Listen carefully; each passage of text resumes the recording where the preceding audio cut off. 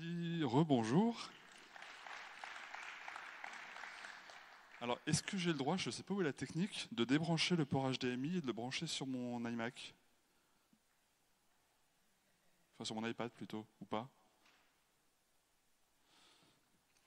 Euh, en fait, euh, comme je ne savais pas trop le propos qu'on allait tenir dans la conférence, euh, je vais vous suivre pour savoir de quoi je vais parler. Merci. Euh, et en fait, j'ai- quatre. euh, je ne vais pas vous présenter 1083, je l'ai fait tout à l'heure. Euh, par contre, il y a- quelques angles sujets d'innovation sur lesquels on a travaillé et qui peut-être peuvent vous intéresser. Je peux vous parler d'économie circulaire, je peux vous parler de- d'export, je peux vous parler de l'organisation, je peux vous parler de, de notre façon de lever des fonds. À chaque fois, il y a des angles un peu différents. Et donc, euh, je vous propose de voter. Je ne sais pas si j'aurai le temps de parler des 4, des 3, de 2, de 1, on verra, je suis bavard. Euh, qui est plutôt intéressé par l'économie circulaire? Pas mal. Euh, la gestion? Moins, ça fait moins rêver la gestion. Les levées de fonds? Pas du tout. un petit peu. Et qu'est-ce que j'ai dit d'autre? L'export. Ok, donc on va les faire dans l'ordre. Je vais commencer par l'économie circulaire. Euh, donc l'économie circulaire, c'est au cœur de, de 1083, puisque dans nos statuts, euh, le, but de l'entreprise, euh, c'est d'amener chacun à produire et consommer dans l'économie circulaire. C'est vraiment dans, dans les préambules de nos statuts et c'est inscrit dans les statuts de l'entreprise. Le moyen pour y arriver, c'est de gagner de l'argent. Et donc pour ça, c'est très important d'avoir une gestion raisonnable, rigoureuse de l'entreprise. On est rentable chaque année depuis six ans et l'enjeu, c'est de continuer de l'être pour pouvoir réinvestir ces bénéfices dans le développement d'entreprise pour développer l'économie circulaire. Euh, l'économie circulaire dans le textile, c'est compliqué parce qu'on parle beaucoup de la pollution que génère le textile à cause euh, des colorants, euh, de- des pesticides du coton, etc. Mais en réalité, le, plus gros scandale du textile, c'est la quantité de vêtements qu'on achète qui est euh, déraisonnablement élevée. Juste pour vous situer le marché du jean en France, c'est 88 millions de jeans achetés chaque année en France, c'est-à-dire 1,5 par an et par personne. Euh, vous imaginez à l'échelle de la planète les milliards de jeans que ça ferait si on consommait tous comme ça. Et euh, c'est le plus gros problème. Alors pour limiter ce problème-là, le but de 1083, c'est de diminuer le nombre de jeans qu'on achète en France en augmentant sa qualité et en évitant qu'en fin de vie, le jean devienne un déchet, remplisse nos poubelles. Pour y arriver, euh, on est parti comme tout le monde du coton, avec euh, donc, euh, ce denim qui est tissé euh, en France, qui était en France, etc., mais qui produit en fin de vie un déchet, puisqu'on ne sait pas tellement démonter un jean, c'est-à-dire extraire le coton, réextraire le coton d'un vieux vêtement. Pourquoi? Parce que c'est compliqué d'industrialiser un gisement de vêtements que l'on collecterait et qui serait très hétérogène. Les vêtements, c'est plusieurs coloris, c'est plein de matières différentes, du polyester, du polyamide, de l'éastane, etc. Et du coup, ça rend le recyclage euh, très compliqué.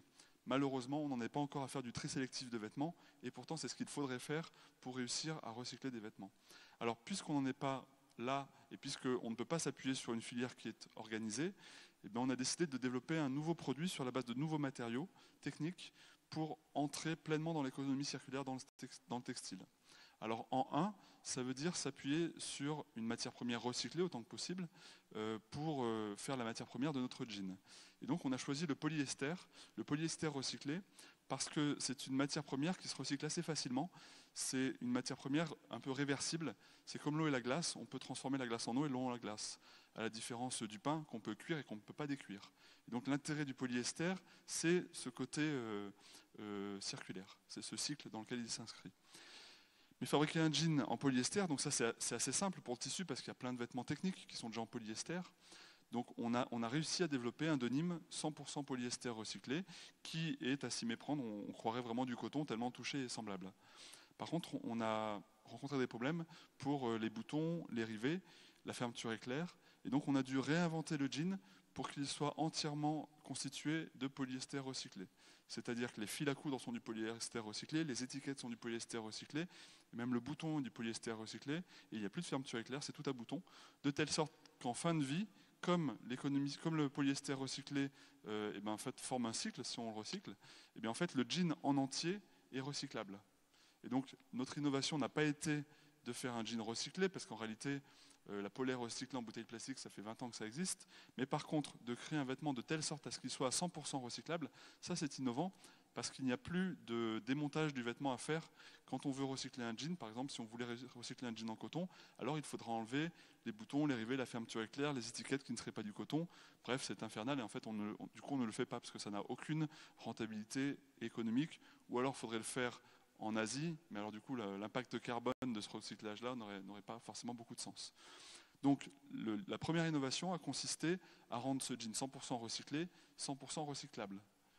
Mais c'est bien beau de le dire en France et en français, et surtout euh, à notre client comme ça euh, qui achète nos jeans.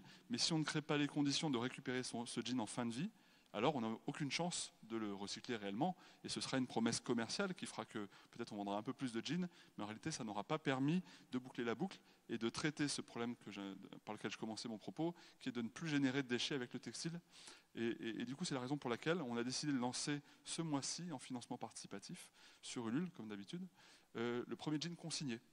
C'est-à-dire que c'est un jean qui est 100% recyclé, 100% recyclable, et que vous achetez avec inclus dans le prix une consigne. Donc ce jean vaut 99 euros plus 20 euros de consigne, ce qui veut dire qu'en fin de vie, quand votre jean sera usé, et eh bien si vous voulez récupérer vos 20 euros, il faudra nous retourner votre jean.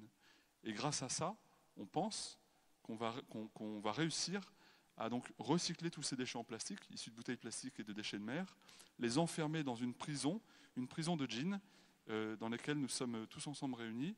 Et en fait, cette prison, ben, on, la, crée nous, mais c'est vous qui en faites euh, la dimension à travers euh, les jeans infinis. Ce jean s'appelle le jean infini que, vous allez commander. Et on ne sait pas en réalité euh, si massivement la consigne va suffire à faire que euh, le jean va nous revenir en fin de vie, mais on fait tout pour. Donc c'est écrit sur une étiquette qui est indétachable dans le jean, en plein milieu sur la ceinture. C'est écrit 20 euros en gros. Donc c'est-à-dire que si, par malheur vous le jetez à la poubelle et que quelqu'un tombe dessus, c'est comme s'il avait trouvé un billet de 20 euros par terre. Et euh, le dernier élément, c'est que le retour du jean est à nos frais. Il est inclus dans le business model du produit.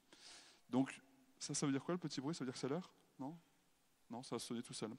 Donc, pour le, pour le résumer avec un schéma, donc ça c'est la campagne Ulule sur laquelle qu'on a lancé il y a quelques jours, qui, marche déjà très très bien. Euh, et on voit le, schéma ici avec euh, ces déchets qu'on récupère, euh, que l'on recycle, avec lesquels on fait du fil, que l'on tisse, que l'on confectionne. Après on vous vend le jean, c'est là où vous intervenez, vous achetez ce jean, vous l'utilisez, et en fin de vie, vous nous le euh, rendez, vous nous le renvoyez avec cette enveloppe euh, euh, pour laquelle vous ne payez pas les frais, de, port. Et grâce à ça, eh ben, on incorpore de nouveau ce, jean déchet dans le recyclage pour boucler la boucle. Et du coup, on expérimente ça pour voir si, en réalité, on est capable, dans notre société moderne, de transformer cette contrainte de produire des déchets en opportunité, c'est-à-dire à vraiment changer le business model pour ne plus avoir ce problème phare du textile qui est de générer autant de déchets. Donc si ça vous intéresse, bien sûr, la campagne est en cours. Euh, je vous invite à vous y intéresser. La seule contrainte de ces modèles-là, c'est qu'on ne peut pas mettre d'élastane. Donc du coup, euh, c'est que des coupes droites ou des coupes assez amples, parce que euh, l'élastane n'est pas recyclable. Voilà les contraintes que l'on a. Ça, c'était pour le sujet de l'économie circulaire. ensuite, je peux vous parler, donc on avait dit en deux, c'était je vais reprendre mes petites notes. Euh, sur l'organisation, tout à l'heure, en fait, ça m'y fait penser parce que le monsieur du MEDEF a proposé que vous repartiez avec euh, des idées éventuellement euh, au travail ce soir, demain. qui parmi vous est entrepreneur et, qui a des, des responsabilités, qui est cadre ou manager? Oui, donc c'est globalement la majorité. Euh, juste un truc que, nous, on a fait récemment, peut-être ça peut vous intéresser. Il y a toujours quelque chose qui m'a choqué dans l'entreprise, c'est que quand on parle d'un bon gestionnaire, on parle que d'argent. Quelqu'un qui est réputé comme être un bon gestionnaire, on, ne considère comme ressource que l'argent.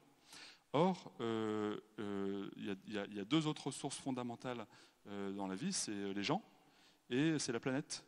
Et du coup, on avait, comme tout le monde, un pôle RH, euh, un pôle financier, mais la planète, alors que c'était au cœur de nos statuts, eh on ne l'avait pas consacré dans notre, organigramme.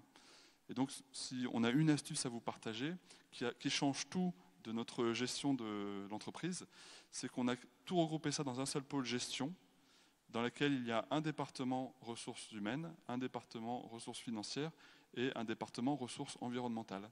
Et l'idée, c'est de, c'est se montrer à soi-même et de voir tous les jours notre organigramme et de montrer à nos équipes que euh, toutes ces ressources-là, eh ben, en fait, il faut les gérer avec le même sérieux. Et gérer les gens, enfin gérer l'argent en entreprise avec sérieux, ben, ça on le fait depuis que l'entreprise existe. Gérer les gens avec sérieux, on commence, c'est de mieux en mieux, mais ce n'est pas encore toujours pas fait selon les entreprises et euh, gérer l'environnement sérieusement, c'est-à-dire respecter la planète, respecter nos ressources, euh, s'intéresser à la fin de vie des produits qu'on propose, ben ça c'est l'enjeu de demain. En vrai, c'est l'enjeu d'aujourd'hui déjà. Et du coup, de le consacrer dans notre organisation en montrant que bien gérer son entreprise, c'est bien gérer et l'argent, certes, et les gens, évidemment, et l'environnement, bien sûr. Ça, c'est quelque chose qui peut-être peut vous aider à euh, faire monter euh, ces, enjeux environnementaux, environnementaux dans, le, quotidien de, votre entreprise. Voilà, ça c'est le deuxième truc que je voulais partager. Euh, il me reste combien de temps, Anne? Cinq minutes. Parfait, peut-être j'aurai le temps de faire les quatre. Euh, je vais terminer par la partie la moins marrante, la levée de fonds, et plutôt vous parler d'export. Donc 1083, vous, vous l'avez compris, c'est une marque qui est tournée vers la proximité je le disais tout à l'heure, la proximité, en fait ce monde qui va dans le mur, on le, sait tous, euh, on le sait tous de manière rationnelle, euh, et ben en fait, malgré la raison, même si on est convaincu que euh, c'est pas bien ce qu'on fait, etc., on continue de le faire. Et, à mon sens, c'est parce qu'on fait des choix avant tout de manière irrationnelle plus que rationnelle. Par exemple, un fumeur, est-ce qu'il y en a qui fument parmi vous? Un, fumeur, il sait, c'est écrit tous les jours que fumer tue. Mais en fait, ça ne suffit pas à, euh, lui faire changer ou à le faire arrêter tout de suite, ou c'est difficile, etc. Parce que, le cancer, on l'a dans 30 ans. Mais si on se rapprochait de la conséquence de, fumer et que ce cancer, on l'avait au bout de 3 mois, eh bien peut-être qu'on fumerait moins. Et donc, j'ai le sentiment que la proximité, c'est vraiment le meilleur moyen de, euh, de faire des choix euh, plus vertueux, plus raisonnables, mais pas, de manière intellectuelle, pas euh, juste parce qu'on est touché par la conséquence. Et euh, du coup, d'être plus proche les uns des autres, d'être plus proche des conséquences des choix qu'on fait, eh ben, je crois que c'est le meilleur moyen, c'est universel, euh, pour construire un monde un peu plus durable. Alors, transposer dans le business, ça veut dire 1083, ça, a ça, a permis de créer 1083. Et donc, je l'ai dit tout à l'heure, 1083, le concept, c'est de fabriquer des jeans à moins de 1083 km de chez vous. Et quand on crée une start-up, en même temps qu'on trouve le concept chouette, on a euh, une fois sur deux, des banquiers, euh, des élus, des, confrères qui nous disent Mais alors, euh, quand est-ce que tu vas à l'export C'est génial, le Made in France s'appelait beaucoup au Japon, etc. Et en fait, si on trouve un peu couillon d'acheter en France des jeans du Bangladesh, et eh ben faire l'autre chose, c'est pas plus intelligent finalement. Et donc l'idée, c'est de sortir de ce paradigme de l'export qui serait la solution à, tous nos maux, à l'économie française, etc. On regrette euh, tout à l'heure, j'entendais le monsieur du MEDEF qui disait euh, euh, qu'il fallait, entre, le, entre le, les pays, se protéger leurs économies, etc. Et, en fait, on est agressé par les autres, mais on est aussi agresseur quand nos, entreprises cherchent à exporter au détriment des économies locales. Et donc, nous, on ne veut pas s'inscrire dans ça. Donc, on a décidé d'un concept très simple qui, est de ne pas exporter les produits, mais qui est d'exporter le concept. C'est-à-dire que si demain on vend des jeans 1083 aux États-Unis, eh bien on souhaite qu'il soit euh, fabriqué aux États-Unis et on partagera, euh, parce que l'international c'est important, les échanges c'est important, et on partagera tout autant les valeurs de la France. Euh, quand vous achetez un jean Levis, vous achetez le rêve américain, made in Bangladesh, et ben nous, on veut partager le rêve français, made in là où on l'achète. Voilà en gros le concept à l'export de 1083, et je pense que j'ai consommé mon temps de parole. Je vous remercie de votre écoute.